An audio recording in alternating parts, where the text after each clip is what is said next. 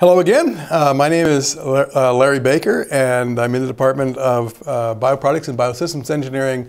I work on water, water pollution, and water policy. And uh, this is lecture number four, uh, approaches for treating water and sewage. So in previous lectures, we've talked about hydrology, we've talked about water pollutants, and, and the global water and sewage sanitation um, uh, system, the, the, the, statistics in terms of accessibility and so forth. Now we're going to talk about uh, treating water and sewage. Uh, and look, we're going to look at approaches both at the household level and at the, um, at the urban level, the uh, sort of industrial uh, water uh, treatment. Uh, these are some uh, uh, the photos here. Uh, the lower one is uh, a discharge of wastewater that was very poorly treated uh, back in 1974. This is in Houston. this water, we talk about primary treatment, just enough to settle out the solids and then decontaminate with chlorine. At that time, you would inject rather huge concentrations of, of chlorine to kill everything and then discharge it with no other treatment. And I mention that because uh, this is sort of the situation in the United States in the 1960s and 70s, early 70s. Uh, we now would have much, much cleaner water um, from advanced treatment uh, systems. And I'll describe that a little bit uh, later. Um, this is a river that I had used in the previous slide too. This is just a uh, fairly polluted river in Burkina Faso. Uh, this is the kind of unimproved water that many, many people in the world still have to drink. Uh, this is a, in the same city, a water tower. I had, mentioned that they uh, do have community water supplies and, and uh, the, the uh, there is a fairly modern water treatment plant in the city and, and a fairly good distribution system, although it's just to uh, community wells, not so much to households, about 25% of the households or so. And this is a water plant, uh, just an aerial view. I'll talk about this in some detail uh, later. But uh, to put this in perspective, uh, this is uh, about uh, the length of a football field or thereabouts from, from the pre-sedimentation basins onto the reservoir, the covered reservoir at the end, perhaps the length of a football field or, or a bit more.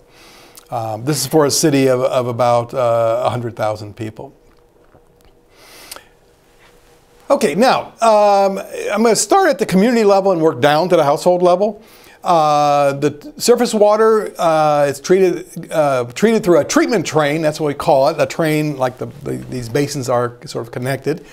Um, and what we do, uh, and this is fairly universal, we uh, flocculate. You have fine particles coming in, you know, clay and, and dirt and stuff, and bacteria. Um, you, they tend to stay in the water. They tend to be uh, fairly fine particles. And what you do is you add some alum. It's uh, aluminum sulfate. If you happen to make uh, pickles, uh, that's the same stuff, really. And what that does, it forms kind of a gel. It binds with the particles. Uh, it looks a bit like dandruff when it's floating around in the water. But now it's heavier particles and it sinks to the bottom.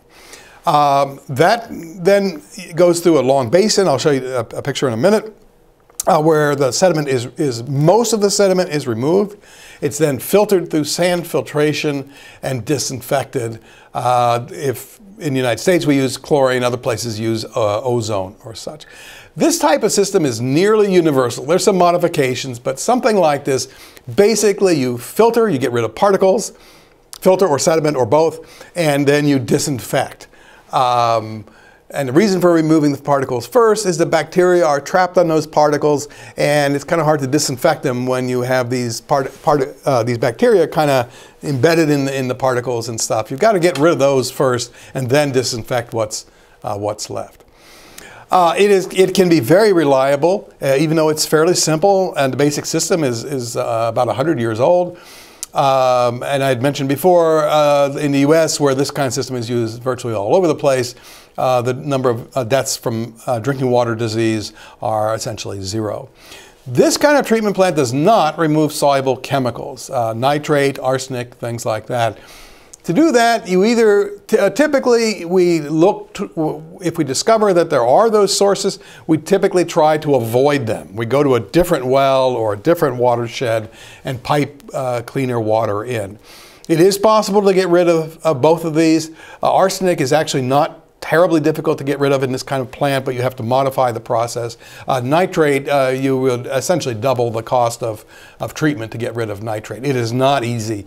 Uh, again, it's very, very mobile ion, as I mentioned earlier, um, and it doesn't uh, sediment, it doesn't attach to particles, and it's very difficult to, to get rid of.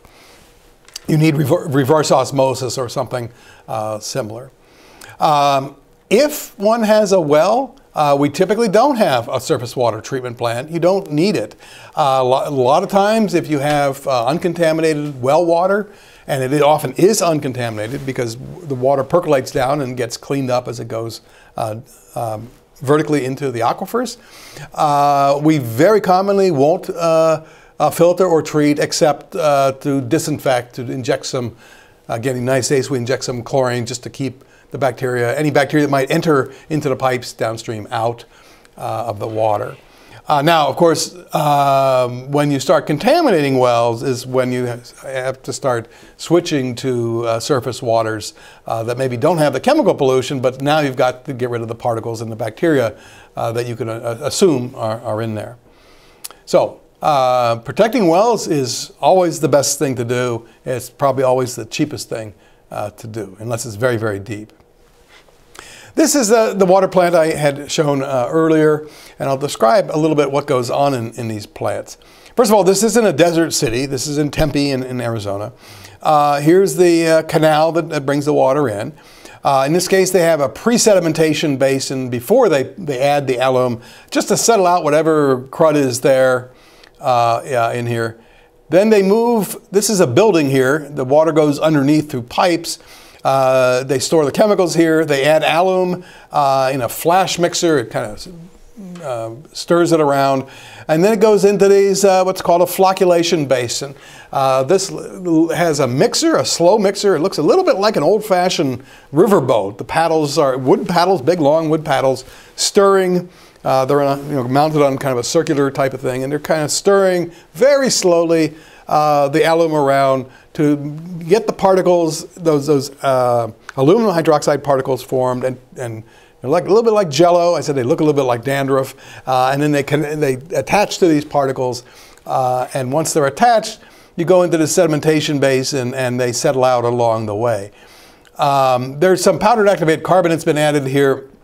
Uh, that makes it hard to see that, but uh, the sedimentation. But as you were, if you were to walk along here, along this sidewalk here, uh, you would see as you walked along the water get, going from turbid to really quite clear by the time it gets to the end. Nevertheless, you also run it through a sand filter. These are uh, about the size of a, a a decent sized room or so. Each one of these, there's uh, eight of them here. Um, and these have sand, uh, it's about three feet deep, a fine sand on top, then a coarser sand, and then uh, some um, Uh, uh, even coarser uh, uh and denser particles on the bottom. This is periodically cleaned by, by moving water in the other direction and, and, and wasting it into this pond over here. But when it's filtering, it goes down to about three feet of media uh, and comes out really virtually no particles whatsoever. So it's a combination of this flocculation with alum, uh, the sedimentation along these long basins, and then a sand filter um, and then chlorination is done uh, in, in under, underground here as the water moves from here to, to, this reservoir.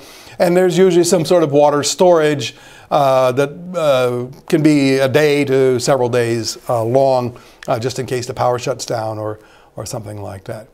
This is a pretty typical uh, design of a water treatment plant. There's nothing new about this, really and I'll show you a couple of uh, uh, statistics to show you where, where you can get to uh, uh over time. Uh, this is for the United States, it's, it's deaths from typhoid. Back here in this area, we really were doing some sand filtration. Chlorination really began uh, in, in, 1908, was invented or, or, discovered that chlorine would work for water treatment. Um, there was additional, it wasn't just chlorine, there was actually more sand filtration. But somewhere through here, people gradually started adopting this combination of filtration and, and chlorination, and uh, typhoid de deaths have dropped to uh, virtually uh, zero. Um, the combination of clean water technologies, uh, improved uh, water treatment, impro improved sewage collection, uh, really had a huge impact on mortality in the United States. And again, I mention this because much of the global south is about where uh, the United States was in the first half of the 20th century or early 20th century, uh, when uh, people did die of typhoid, they died of other diseases from waterborne diseases here. But there was almost a total reduction in, in uh, typhoid. Uh, most of that was due to clean water technologies. But there are other diseases too uh, that are helped by clean water technologies. Even pneumonia, uh, you know, you can imagine if a child has pneumonia, uh, their uh, potential for recovery is improved if they get good water and then don't otherwise get sick from diarrheal diseases, even non-fatal diseases, um, but on top of, the, of pneumonia or other diseases. so having clean water uh, actually reduced all uh, uh, mortality by about 40% in the United States. And uh, our lifespan went from 45 to about 65 years during that period. So this is kind of the uh, chronology that we might expect in the global south as water treatment is more, or water technologies are, are gradually adopted or expanded, uh, you will see this go down very much in the same uh, manner here. Now, going back uh, a little bit to the global south, um, uh, household water treatment is very feasible. Uh, it, it is not so much different in the processes from large-scale uh, water treatment. there is removal of particles, Again, remember the bacteria and, and, pathogens embed on these, in these particles, and sometimes they are the particle uh, by filtration, sedimentation, or sand filtration, uh, and then disinfection, disinfection uh, at the household level, that would mainly be by, by chlorination. Um, this still won't remove, uh, this is just a reminder, it, it, will not remove soluble chemicals. It will not remove arsenic, it will not remove nitrate, it will not remove salt, but it will remove most of the bacteria and protozoan uh, pathogens. Here's a uh, diagram from the uh, Centers for Disease Control. There's actually a very nice website that you might uh, check out, uh, uh, put out by the Centers for Disease Control, where they talk about household uh, sanitation um, with, with these kinds of filters and such. So this is a diagram of a sand filter. here's where the water comes in. There's a diffuser plate would be just something with holes in it. Uh, the sand is underneath here. Again, some finer sand, some coarse sand, some gravel. Uh, these are, uh, you know, most cases, these could be locally uh, acquired. Uh, then there's a tube at the bottom that comes up and brings the water out to a uh, faucet or, or, such. So it's, it's a very, very simple design conceptually. You can imagine this might be modified in a hundred different ways for various local settings. But it's called a slow sand filter. Uh, it doesn't produce a lot of water. You're not going to take a shower probably with something like this, but at least you could get uh, drinking water uh, out of it. You can also do the same thing with a cloth, um, simply by folding a cloth and um, uh, filtering it into a, a carboy, a water bottle. Uh, but if it's filtered, it also must still be disinfected. And the CDC site has uh, shows ways of disinfection that are very, very inexpensive. Um, the very simplest approach would, if you had a Clorox, is it's simply a certain number of drops per gallon. I think it's three or four drops per gallon. Don't don't trust me on that. Go to the CDC uh, uh, site, and they have uh, rather precise uh, instructions. So it is uh, quite possible to uh, make your own water, so to speak, uh, at least if it's not grossly contaminated. Um, yeah. So, um, the, the, this is some costs in different countries of uh, different parts of the world of uh, household connection, uh, standpipe, uh, borehole, a dug well, and rainwater. As you can see, uh, you know, the cheapest, uh, let's just take Africa as an example, the cheapest really is boreholes or a dug well or a stand post. Um, rainwater harvesting is a little bit more expensive, um, a little bit more expensive. You have to have a a roof uh, that can collect the water and, and you got to drain that water into a pipe and then you've got to uh, collect that water and, and, in many cases would need a rather large uh, water container uh, to do that. Um, And the house connection now, you know, is, is at least double the cost of uh, rainwater connection. So it's why we don't have household connections. Uh, $100 is a lot in, in many parts of the world, you know, in the order of $100, $150 uh, per household. Because of that, what you see, and I, I, have to give you a roughly drawn graph here because this is copy, the original was copyright protected. Uh, but if you want to go to this article, uh, there's nice uh, dots representing all countries, uh, or many countries in the world, uh, along this graph. So I've just drawn, redrawn the axis and the line that would uh, generally follow those, um, those um, country marks. But as you see, as income increases, even maybe a, a good point of reference is when you reach about $3,000 or so per capita on a um, this is on a purchasing power parity uh, basis, uh, sort of the equivalent of US uh, dollars um, in terms of purchasing. Uh, you reach 50%. So, you know, it's not real high up uh, where you have uh, piped water to the premises. I think you would say at $5,000, you know, most people have piped water going to the house. And then once you get to about 10,000 or 15,000, it gets to be virtually everyone. Uh, unfortunately, uh, you know, many parts of the world, 5,000 is a lot of money. Where we're actually down here in sometimes the 100, 200, 300, 400 dollar um, per capita annual income. So 5,000 is uh, a, a, fortune. But as you get to, to this would be uh, Costa Rica, for example. And Costa Rica, I think, as near as I can see, uh, most people have household uh, water connections. Okay, um, uh, treatment and disposal of sewage is a little bit more complicated. There's a number of goals here. One is hygiene. The first one is hygiene. Uh, you want to prevent the spread of disease. Uh, aesthetics, there, there are smells. Uh, you really don't want much sewage right around your habitation. Uh, then as we move down, uh, nutrient recovery, uh, many parts of the world to various extent uh, recycle human waste to crops to, for nutrients. It's also a great source of organic matter, uh, builds up the soil and, and, and such. Uh, you do have to move it, and moving it is not an easy process necessarily, particularly if you're doing it by hand or, or ox cart or, or that sort of thing. Um, you also want to prevent the degradation of downstream uh, waters. Uh, raw sewage moving into uh, rivers, uh, a little bit like uh, uh, what I showed in the first slide there. Um, there is the potential for contamination um, of, disease, of, waterborne diseases, especially if it's not chlorinated. even if it is chlorinated, though, uh, that chlorine dissipates, it only lasts for a little while, and you get the degradation of this organic material downstream, and it can completely remove the oxygen from the stream. The rate of uh, oxygen moving into the stream for the bacteria to grow on, um, now these aren't pathogenic bacteria, they're just regular you know, soil bacteria. They will degrade that sewage, uh, but the, the, the river typically won't re-aerate, re-aerate itself fast enough, and so you can end up with actual dead zones in the river. And then further down the river, much further down, uh, as all the organic material is degraded, the oxygen concentration actually will go back up, typically, and then fish can live again. But you do create a dead zone, and that's very undesirable. Also, right below a sewage uh, discharge, if there's no treatment, it is just very, very disgusting.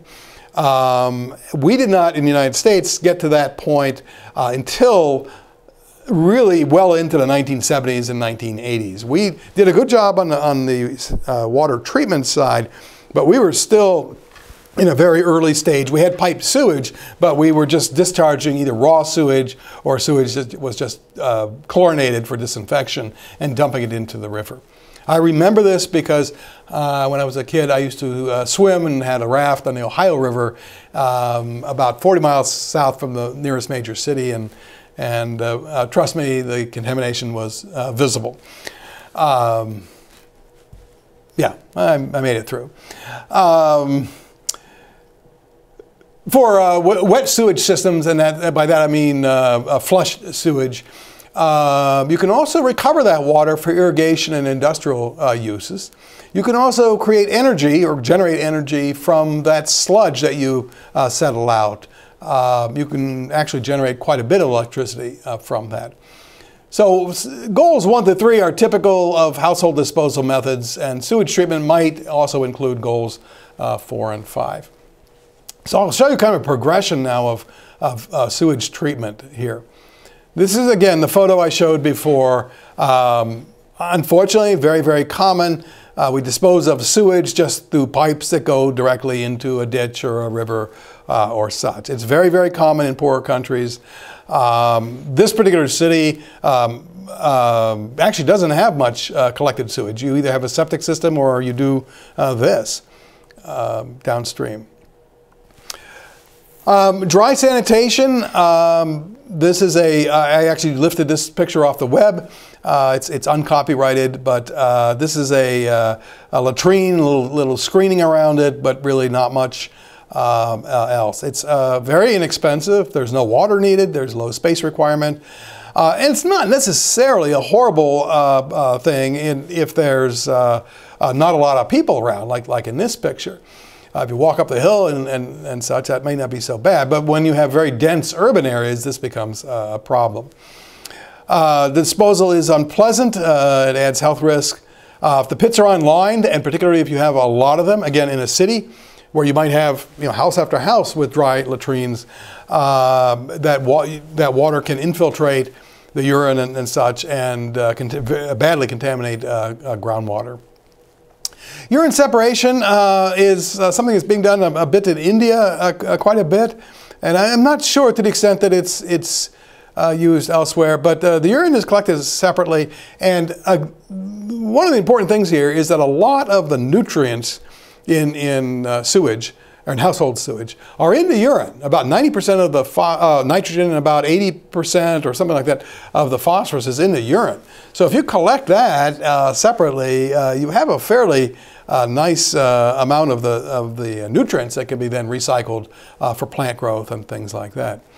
it also, if you did that, uh, at, the, at the front end, you know, when you're uh, urinating, uh, you would reduce the liquid in liquid going into latrines and pit toilets, um, and and reduce the potential for contamination uh, in, in groundwater. Uh, disadvantage is cultural acceptance, and it, because it is water, it's heavy. Transportation at any distance becomes a bit of a problem. Third type is septic systems.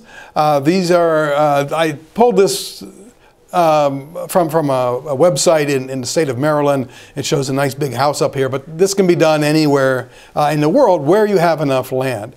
And basically, the water comes down, it goes into a, a, cistern kind of thing, uh, a tank uh, under, under the ground. Uh, it decomposes a bit, the liquid comes out the top. Eventually, you have to pump out the solids. Uh, that can typically be a period of several years. The liquid goes out into a drain field. Uh, this might be three feet below the, the, the, surface. And these pipes are perforated pipes, uh, typically a couple of inches in diameter, with quite visible holes in them, and the water percolates downward. Uh, the idea is that the uh, water is treated as it goes down um, into the uh, aquifer. Uh, they work fine if you have the right kinds of soil, medium density soils and you don't have too many of them. Uh, it does keep all the contamination below the ground, uh, but it can also leach nitrate uh, pretty badly. And if you have higher densities, many people doing this, uh, it can really be a problem. For one thing, the, the, the leach field itself takes up considerable space, uh, even for a single home, and you couldn't have this in a, a very uh, dense uh, urban area. But it works fine on, on in rural areas, and uh, we use this. My mother-in-law has one on her um, uh, cabin up in the woods in Minnesota, and people have them in Africa and all over the place around the world. Now, as we move into community, community uh, systems, uh, they are not always complicated. Uh, this, I'm going to show you one that's complicated, but uh, many, many uh, cities around the world, towns around the world, have these, these kinds of systems that I'm showing here. Uh, this is in Nogales in Arizona, right along the Mexican border. It's basically a big lagoon. sometimes they're aerated. You can see these aerators kind of churning up the water out here. Sometimes they're not. They're, they're bigger. Uh, they can be quite large. Uh, you, in the United States, we still use these.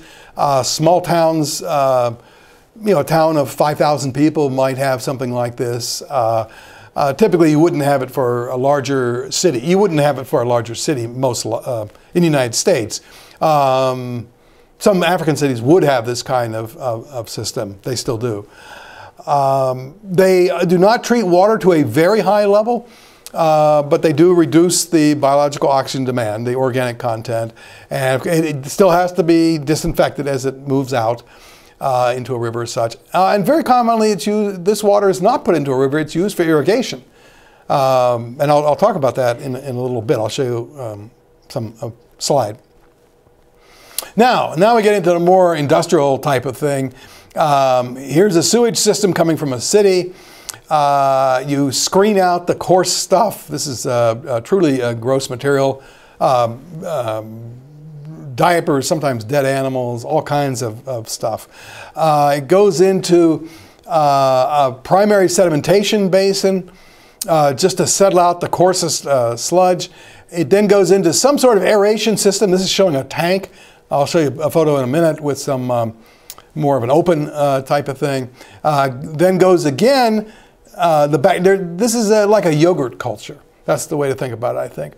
Uh, there are bacteria in here, uh, natural bacteria. They uh, basically are living off the dissolved organic material in, in the uh, sewage.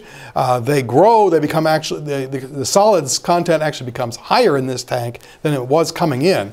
So if you just were to filter everything out and measure the solids, it would actually be higher here, much higher, like 10 times higher here than it was here because you're converting soluble uh, nutrients into a bacterial uh, biomass. Uh, it then goes into another settling tank to get rid of this bacteria. Uh, the bacteria, some of it is recycled to keep the system going, just like you take a spoonful of yogurt and put it into the new batch uh, to get the, um, to provide the bacteria. Um, the material is then um, uh, uh, either recycled or discharged uh, downstream. And they don't show it here, but the sewage, the, the, sludge is then, I'm sorry, they do show it. The sludge is then processed um, and it can be used in many cases for uh, agricultural uh, purposes, for growing things, uh, if it is not contaminated. not contaminated is very important. Uh, this means that uh, industrial chemicals and stuff have to be kept out at this level because this kind of a sewage treatment plant, uh, which is again is fairly ubiquitous uh, around uh, uh in, in, in, advanced countries and even in, in um, Africa, there, there's a good bit of this, in Asia and, and such. Um, uh, they do not remove toxic chemicals. So if there's cadmium or lead or, or zinc or anything else, it has to be stopped at this level before it ever gets in there. Those kinds of chemicals will actually kill this system. Uh, and I've, I've heard of that happening. Uh, uh, accidental spills and that sort of thing. Well, these bacteria, they're living creatures, uh, they will be killed, and it's a uh, really awful mess uh, when that happens. It also makes the sludge unusable for um, agricultural purposes. this is a picture of what this looks like. Here's this gray, smelly, we haven't figured out a way to transmit smells through the internet yet, but I, will just tell you this is smelly. Uh, you, you're, you're first um, um, uh, settling that stuff out. Uh, then you are, uh, then if, if this were a primary treatment plant, you would then chlorinate and discharge. Uh, but in what we call a secondary process, you do this, this is a aeration basin. This corresponds to the tank shown here, just a little bit different. They're usually in, in the United States aeration systems lots and lots of air pumped in here. This is a high energy system. Um, a bit problematic. Here's a, oh, oh I uh, meant to hit the cursor. Uh, this is a secondary sedimentation. At this point, you can't really see it here, but uh, this water is really quite clear. Uh, I use the same picture here, but the, if this were the this picture really corresponds more to the primary treatment, uh, but the secondary treatment, uh, you disinfect and it comes out. That would actually be quite clear. Um, you could, if you put that in a glass of water, uh, you probably couldn't tell it from a glass of drinking water. And in fact, it probably meets, it could meet all the drinking water standards. Uh, we don't usually do that. We almost never do that, but it, it actually um, um, is it can be that clean under the right conditions. Um, the capital costs are very important. This is a uh, uh, obviously a limiting factor. Uh, simple pit latrine, these are in US uh, uh, dollars in 2000. Uh, you know, we're looking at a pit latrine, latrine you know, under $100. Uh, better latrine, I think this probably means lined, um, you know, maybe a little bit more, a pour flush latrine. Know, now we're moving up to a septic tank and, you know, these costs go up. And when you move to a sewer, you know, these move up uh, uh, really a great deal, uh, three, uh, three to six times more expensive uh, than a pit latrine. So um, again, costs, if you just look at that capital cost and think about per capita income, uh, you know, you really need to be in the several thousand dollar uh, per capita uh, income range before you even start thinking about uh, these kinds of systems, unfortunately. Or money has to come from other sources. Uh, this is the percentage of wastewater treated by effective tre treatment plants. Um, in Africa, most pipe water is not treated before discharge. In Asia, higher percent, and even in North America, it's only 90 percent. Uh, and Europe, this actually surprised me, it's only 66%, uh, which means uh, uh not treated uh, means that it is simply discharged as raw sewage or possibly just uh, chlorinated before it's discharged. I did mention recycling wastewater. Uh, this is something that's very commonly done in the uh, southwest United States. It's actually, I know it's done in, in Burkina Faso in Ouagadougou, but I think it's done in, in many other places too. We don't have real good statistics on that, uh, barely in the, in the United States, much, much less anywhere else. But this can be a, a, a very important uh, source of water uh, again, the water has to be well treated, but uh, typically, probably the major is irrigation of, of non-food crops. So these would be crops that are used for animals, like like corn, um, uh, like feed corn or uh, soybeans, uh, or cotton, where you don't have a food problem at all. It's often a very good source of cooling water for industrial purposes. You remember from my Maslow's triangle, hydrologic triangle, we need uh, water for industry. Well, that doesn't always have to be real clean water. Uh, it can be um, uh, cooling water. It can be used for cooling water, which does not have real high um, uh, quality requirements. And environmental enhancements. Um, uh, this is in a desert uh, area. This is near Phoenix. It's, it's an area called Mesa. Uh, they have a, a, nice sewage treatment plant, and they could have uh, recharged it to the aquifer, uh, basically put it into a basin and just let it soak in. But what they decide to do instead is to create a wildlife refuge. This is a photo uh, that was shared with me from a, a guy who runs this uh, refuge.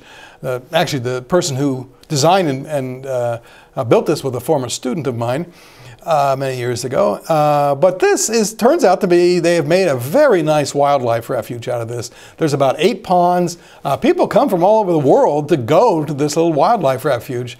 Um, uh, the area has has been dried out. It's, it's been dry naturally. It's been dried out more by humans and there's very little standing water, even though there used to be wetlands along the, the Salt River nearby.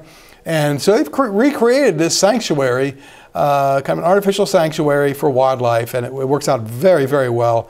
And then the water is, is actually infiltrated. Does go into one of these kinds of infiltration ponds, but uh, not before um, uh, creating some environmental enhancement along the way.